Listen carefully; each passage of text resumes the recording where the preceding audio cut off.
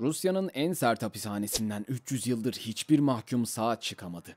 Burası dünyanın en kötü şöhretli ve en korkulan hapishanelerinden biri. Rusya'daki Black Dolphin hapishanesi. Bu yüksek güvenlikli cezaevi ücra bir bölgede yer alıyor ve Rusya'nın en sert hapishanesi olarak ün kazanmış durumda. Mahkumlar Rusya'nın en tehlikeli ve şiddet yanlısı suçlularından oluşuyor ve birçoğu ömür boyu hapis cezasına çarptırılmış. Öyle ki çoğu mahkum burada intihar ediyor. Bazıları ise şüpheli bir şekilde hayatını kaybediyor. Bu hapishane o kadar sert ki dünyanın en acımasız katilleri bile burada fazla dayanamıyor. Bu videoda Black Dolphin hapishanesinin tarihine ve işleyişine derinlemesine bir bakış atacak. Zorlu koşulları, katı rejimleri ve mahkumları kontrol etmek için kullanılan en acımasız yöntemleri ele alacağız. Dünyanın en sert hapishanelerinden birinin iç yüzüne doğru nefes kesici bir yolculuğa hazır olun. Black Dolphin cezaevinin tarihçesi Black Dolphin cezaevi 2000 yılında açıldığında kötü koşulları ve aşırı kalabalığıyla bilinen eski Sovyet cezaevinin yerini almıştır. Cezaevi şiddet suçları işlemiş olanlar da dahil olmak üzere Rusya'daki en tehlikeli suçluları barındırmak üzere inşa edilmiştir. Ülkenin güney kesiminde Kazakistan sınırına yakın bir yerde bulunmaktadır. Black Dolphin cezaevi için bu yer birkaç nedenden dolayı seçilmiştir. İlk olarak Orenburg Oblastı bölgesi nispeten izole bir bölgedir. Yakınlarda sadece birkaç kasaba vardır. Bu da yetkililerin cezaevi üzerinde sıkı kontrol sağlamasını, firarları ya da diğer güvenlik ihlallerini önlemesini kolaylaştırır. Bölge yazları sıcak ve sert soğuk kışlarıyla sert bir iklime sahiptir. Hava koşulları da mahkumların kaçmasını veya kaçmaları halinde cezaevi dışında sorun çıkarmalarını zorlaştırmakta. Tesis için ilave bir güvenlik katmanı sağlamaktadır. Ayrıca cezaevi organize suç örgütleri ve uyuşturucu kaçakçıları için merkezi bir geçiş noktası olan Kazakistan sınırına yakın bir konumdadır. Rus hükümeti cezaevini bu bölgeye yerleştirerek suç faaliyetlerini daha etkin bir şekilde denetleyip engelleyebilir. 1997 yılında Rusya ölüm cezasını kaldırmış ve yerine ömür boyu hapis cezası getirmiştir. Bugün Rus hapishanelerinde müebbet hapis cezasına çarptırılmış 3500'den fazla kişi bulunmaktadır. Yasadaki bu değişikliğe rağmen Rusların çoğu hala idam cezasının geri getirilmesini desteklemektedir. Şaşırtıcı bir şekilde müebbet hapis cezası alanların çoğu da bu görüşü paylaşmaktadır. Bunun başlıca nedeni müebbet mahkumlarının Rus hapishanelerinde katlandıkları ve kolluk kuvvetleri tarafından bile sıklıkla taksit taksit ölüm olarak adlandırılan zorlu koşullardır. Rusya'daki bu türden en büyük cezaevi kolonisi 700 mahkumu barındıran ve 900 infaz personelinin görev yaptığı Black Dolphin'dir. Black Dolphin cezaevindeki koşullar Tüm cezaevi operasyonlarında izolasyon seviyesi mümkün olan en üst düzeyde tutulur. Mahkumlar 24 saat video gözetimi altındadır. Hücrelerin 3 set çelik kapısı vardır. Yani aslında mahkumlar hücre içinde hücrede yaşamaktadır ve iki mahkum 14 metrekarelik bir hücreyi paylaşmaktadır. Gardiyanlar her 15 dakikada bir tur atar. Mahkumların yemekhaneleri yoktur ve yemekleri doğrudan hücrelerine teslim edilir. Hücreden çıkmalarına izin verildiğinde bir köpek ve köpek bakıcısı eşliğinde yürürler. Üç personel onları sürekli izler ve asla yalnız bırakmaz. Mahkumlar bir yerden bir yere giderken Black Dolphin hapishanesine özgü pozisyonda yürümek zorundadır. Eğik, baş aşağı ve kelepçeli. Binadan binaya götürülen mahkumların gözleri bağlanır. Böylece mahkumlar üzerinde maksimum kontrol sağlanır ve mahkumların cezaevi düzenine aşina olmaları engellenerek kaçma olasılığı azaltılır. Black Dolphin'de avlu bulunmamaktadır. Mahkumlar günlük egzersizlerini yapmak üzere günde 90 dakika boyunca beton bir egzersiz alanına çıkarılır. Bu sırada gardiyanlar hücrede arama yapar.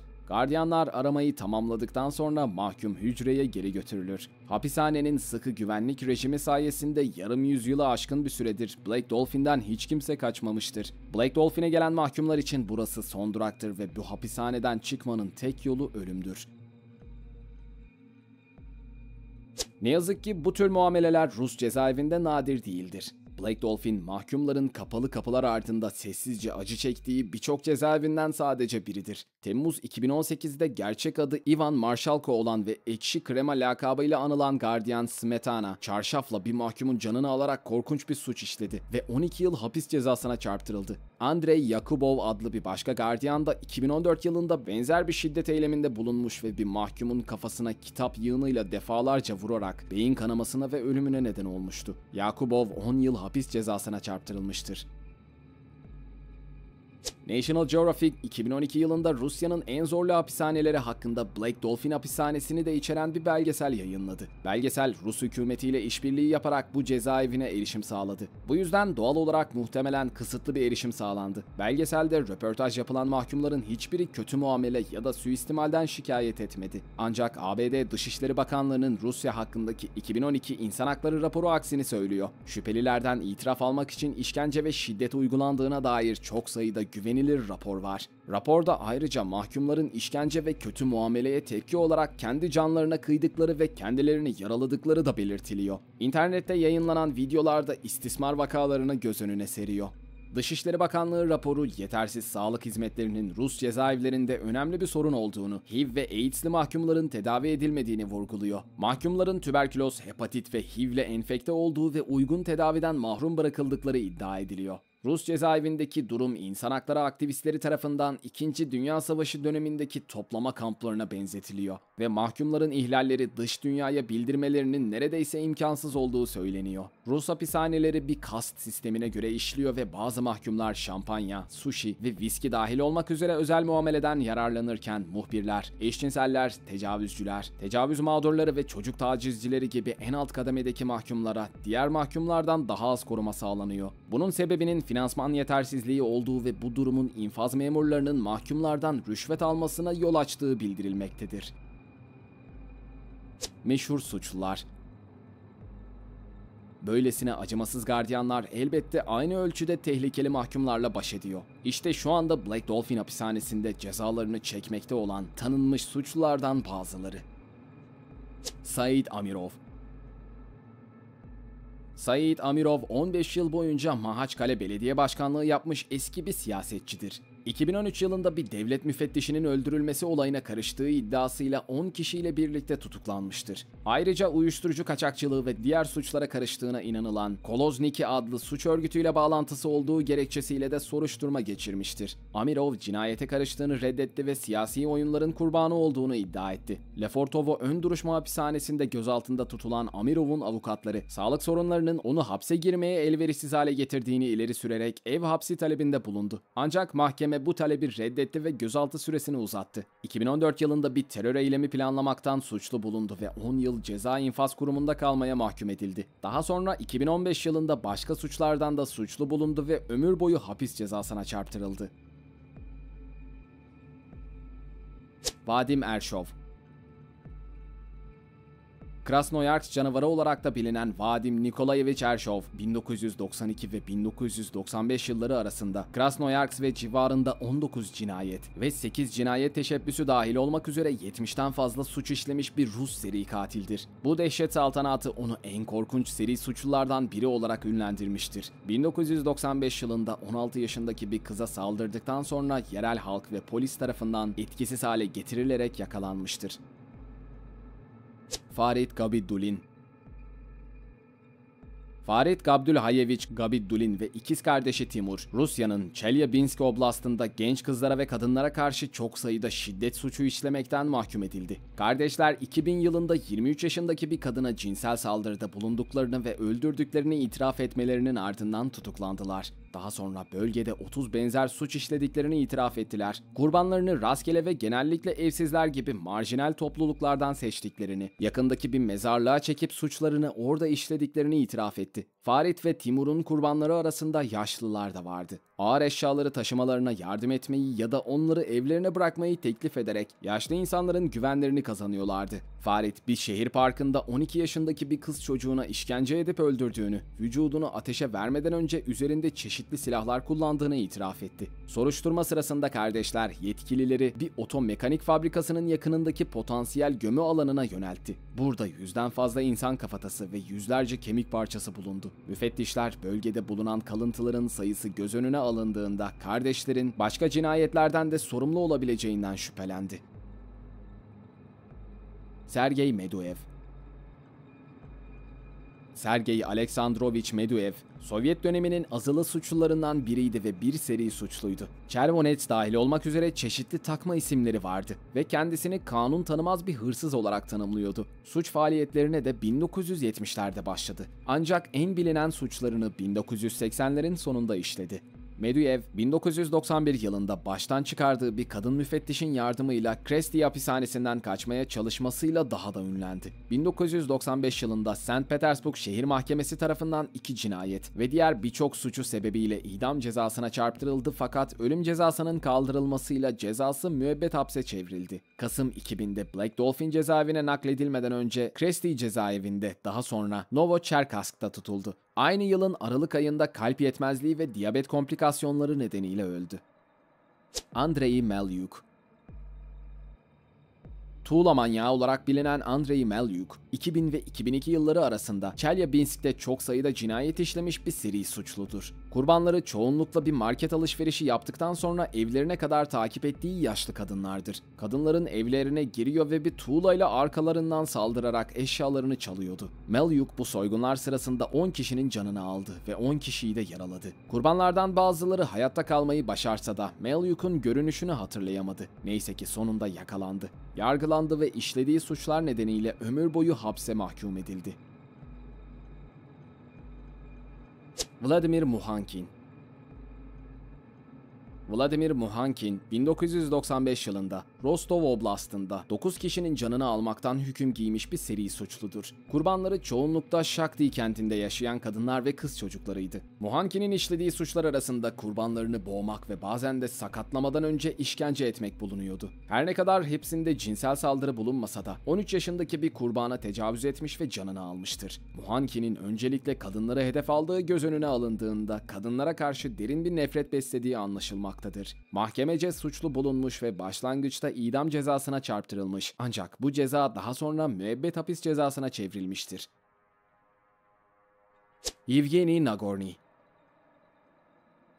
Yevgeny Nagorny sahte bir araba tamir servisi işleterek araç sahiplerini alıcı olduğuna inandırıp öldüren bir suçludur. Nagorny ilk suçunu 2 Ocak 1998'de suç ortağı Stavitsky ile birlikte bir Lada Niva sahibinin canını alarak işledi. İkili potansiyel kurbanlarla buluşma ayarlamak için gazeteye ilan veriyorlardı. Servise gelen arabayı hangara götürüp daha detaylı inceleme bahanesiyle sahibinin canını alıyorlardı. Nagorny ve Stavitsky bir süre sonra daha pahalı olan yabancı arabaların sahiplerini hedef aldı. Nagorny ve Stavitsky Mart 1998'de bu şekilde Son Sevskaya Bratva'nın iki üyesi gibi suçluları bile hedef alarak 9 cinayet daha işledi. İkili lüks arabaları çalarak cinayetlerden hatırı sayılır bir kar elde etti.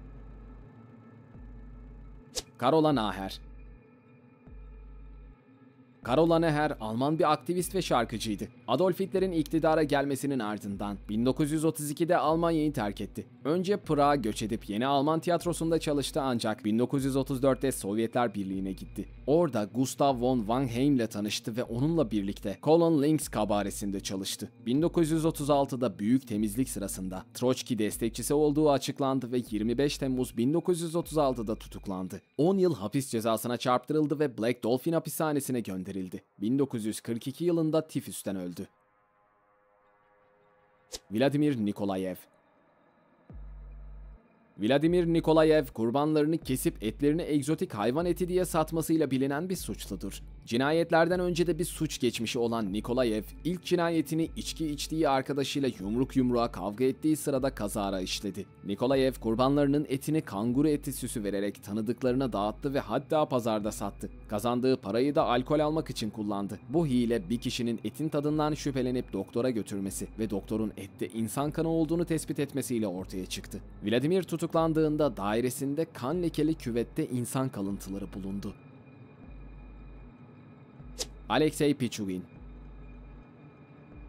Alexey Vladimirovich Pichugin cinayet, cinayete teşebbüs ve gasp dahil olmak üzere birçok suçtan hüküm giymiş eski bir Rus istihbarat görevlisidir. 1962 doğumlu Pichugin kariyerine Federal Güvenlik Servisi'nde memur olarak başlamış ve daha sonra güvenlik şefi olduğu petrol şirketi Yukos'ta çalışmıştır. 2003 yılında Yukos'la anlaşmazlıkları olan kişilerin öldürülmesi olaylarına karışmakla suçlanarak tutuklandı. Pichugin tüm suçlamaları reddetti ve hükümetin kendisine karşı delil uydurduğunu iddia etti. Şu an hala cezaevinde ve tutukluluğu boyunca masum olduğunu savundu. Pek çok kişi onun davasını Rus adalet sisteminin siyasallaşmasının ve hükümetin otoritesine meydan okuyanlara zulmedilmesinin bir örneği olarak görüyor.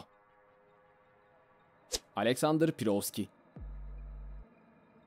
Alexander Pirovski 1997 ve 1999 yılları arasında memleketi Chelyabinsk'te 5 kişinin canını aldıktan sonra seri suçlu ve dolandırıcı olarak ün kazanmış bir suçludur. Pirovski varlıklı kişilerle arkadaş olur ve onların güvenlerini kazanıp dolandırmaktadır. Daha sonra suçlarını örtbas etmek için kurbanlarının canını alır. Pirovski nihayet 2000 yılında tutuklandı. Cinayetlerden ve dolandırıcılık suçlamalarından suçlu bulunarak müebbet hapis cezasına çarptırıldı. Mikhail Popkov Mikhail Popkov bir seri suçlu, cinsel tacizci ve nekrofili olan eski bir Rus polis memurudur. Popkov 1992 ve 2010 yılları arasında Angarsk, Irkutsk ve Vladivostok'ta en az 78 kadın ve kız çocuğuna vahşice saldırdı, öldürdü ve cinsel tacizde bulundu. Bu türden en az 83 suç işlediğini kabul etti. İşlediği suçların vahşiliği nedeniyle Kurt Adam ve Angarsk manyağı olarak biliniyordu. Kurbanlarının vücutlarını parçalıyor ve üzerlerinde cinsel eylemler gerçekleştiriyordu. Popkov 2015 yılında 22 cinayetten suçlu bulundu ve ömür boyu hapis cezasına çarptırıldı. 3 yıl sonra 59 cinayet daha işlediğini itiraf etti. Aralık 2018'de 56 suçtan daha hüküm giydi ve ikinci kez müebbet hapis cezasına çarptırıldı. Mahkeme delil yetersizliği nedeniyle suçların üçünü kanıtlayamadı. Popkov'un idam edilmesi yönünde çağrılar yapılsa da Rusya'da idam cezası yok. Oleg Railkov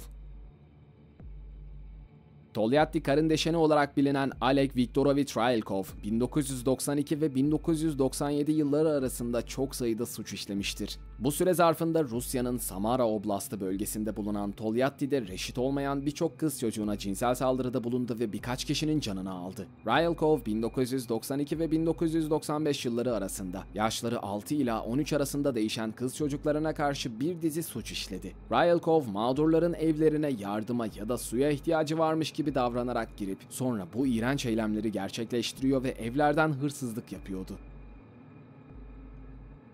Sergey Shipilov. Velsk Chikalite olarak bilinen Sergey Shipilov, 14 cinayet ve 9 cinsel suçtan hüküm giymiş ve ömür boyu hapis cezasına çarptırılmıştır. İşlediği suçların çoğu Velsk kasabasında meydana gelmiş ve kurbanlarının çoğu kadın olmuştur. Shipilov bilinen ilk suçunu 1995 yılında işledi ama 2016 yılına kadar itiraf etmedi. 1996 yılında 3 kadının daha canını aldı ve 8 cinsel suç işledi. Nihayetinde tutuklandı ve ömür boyu hapis cezasına çarptırıldı. Valery Skoptsov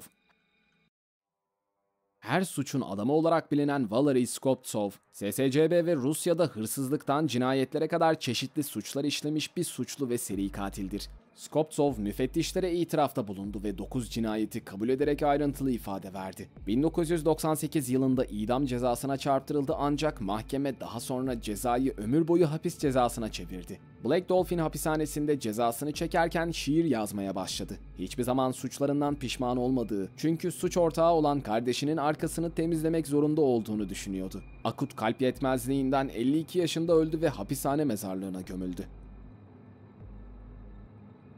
James Spangint Seven James Spangint Seven 1920'lerde Moğol siyasetinde ve akademisinde önemli bir rol oynayan bir buryat alimdir. 1932'de görevden alındı ve Leningrad'a sürgün edildi. Burada Doğu Araştırmaları Enstitüsü'nde çalıştı. Daha sonra 1937'de tutuklandı. 1940'da 5 yıl hapse mahkum edildi. 14 Mayıs 1942'de günümüzde Black Dolphin hapishanesi olarak bilinen Sol Iletsk hapishanesinde öldü. Rus hükümeti ölümüyle ilgili ayrıntıları ancak 1993 yılında açıkladı. Yurit Silman Siyah çorap katil ya da gece misafiri olarak bilinen Yuri Silman, siyah çorap giyen genç kızları hedef alan bir Sovyet seri suçlusudur. İlk suçunu 1986 yılında işledi ve 1990 ile 1991 yılları arasında en az 4 kıza cinsel saldırıda bulunarak canlarını aldı. Sonunda 1992 yılında iki yabancı tarafından yakalandı ve idam cezasına çarptırıldı. Ancak mahkeme daha sonra bu cezayı ömür boyu hapis cezasına çevirdi. Cezasını Black Dolphin hapishanesinde çekmektedir. Şiire ilgi duyduğunu ve annesini ziyaret etmek istediğini ifade etmiştir. Cezasına 2011 yılında Rusya Yüksek Mahkemesi'nde itiraz etmeye çalışmış ancak başarısız olmuştur. Videonun sonuna geldik. Gördüğünüz gibi Black Dolphin çok tehlikeli bir yer. Zorlu koşullar ve katı rejim, mahkumlar tarafından işlenen suçların ağırlığı. Tüm bunlar göz önüne alındığında buradan neden henüz kimsenin sağ çıkmadığı anlaşılıyor. Umarız bu videoyu beğenmişsinizdir. İzlediğiniz için teşekkürler. Bir dahaki sefere görüşmek üzere.